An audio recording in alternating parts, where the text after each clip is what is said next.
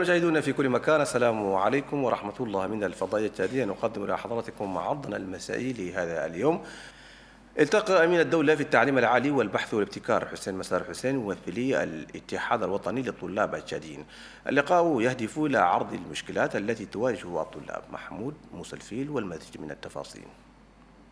الحوار هو الطريق الأمثل والناجح الذي يرضي الأطراف في حل المسائل إذا استخدم بطريقة جيدة بغية الوصول إلى نتائج إيجابية. وفي ذات الإطار يأتي هذا اللقاء الذي جمع كل من أمين الدولة في التعليم العالي والبحث والابتكار الدكتور حسين مسار حسين وممثلي الاتحاد الوطني للطلاب التشاديين إينات بمختلف أقاليم البلاد.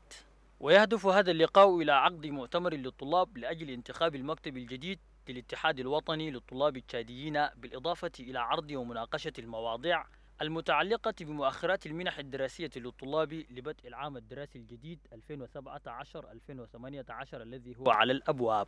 وهذا الاتحاد سوى إشارة في شهر خمسة الماضي أن نجي ننظم مؤتمر. والمؤتمر ما بقي.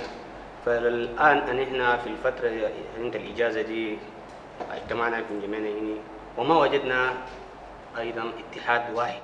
أمين الدولة في التعليم العالي والبحث والابتكار أكد للطلاب خلال مداخلته بأن الحكومة عبر الوزارة المعنية تسعى إلى تحقيق مطالب الطلاب وأن أبوابها مفتوحة للحوار معهم من أجل تحسين الخدمات الجامعية التي تعد من أولويات الحكومة. أن تكون البيئة الجامعية بيئة هادئة مستقرة. نستمع إلى الطلاب لأن رجال المستقبل أي جهد يتعلق بالطلاب نحن لن نتردد.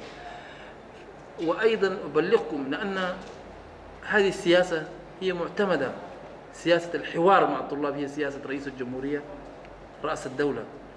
صراحة يعني لا نقول بأن القيادة العليا بالبلاد تهتم بالحوار. وفيما يختص بمؤخرات المنح الدراسية للطلاب أوضح مسار بأن كافة الإجراءات اتخذت ولم يتبقى سوى دفعها لمستحقيها في القريب العاجل. مطالبكم الأخرى قضية المتأخرات متأخرات المنح. إن شاء الله تأكدوا المكتب التنفيذي الجديد الذي تنتخبونه في الاتحاد الوطني نحن نعمل معه سويا لجنة مشتركة من أجل بحث منح الطلاب المتأخرة ودفع هذه المتأخرات لنبدأ العام الدراسي الجديد عام هادئ. بدون أي مشاكل.